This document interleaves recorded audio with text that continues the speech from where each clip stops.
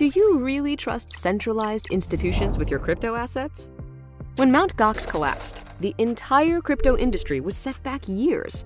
And each time these institutions drop the ball, it's our wallets that take the hit. And what about stablecoins?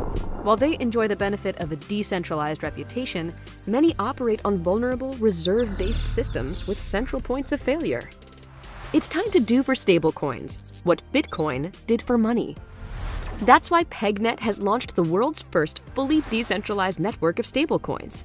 Every 10 minutes, proof of work miners report the prices of tokens pegged to fiat currencies, crypto assets, and commodities like gold and silver. In this decentralized Oracle system, there are no third party intermediaries.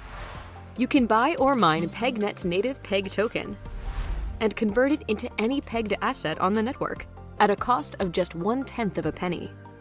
Bullish on Bitcoin? Convert your portfolio to pegged Bitcoin. Changed your mind?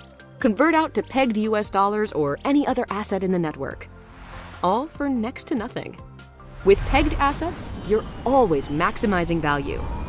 PegNet is at the forefront of a fully community driven movement to put crypto users in control of trading, mining, and holding decentralized stablecoins. Exchanges, mining pools, and wallets are jumping in. Now it's your turn to join the movement. Get a wallet, get involved, get PegNet.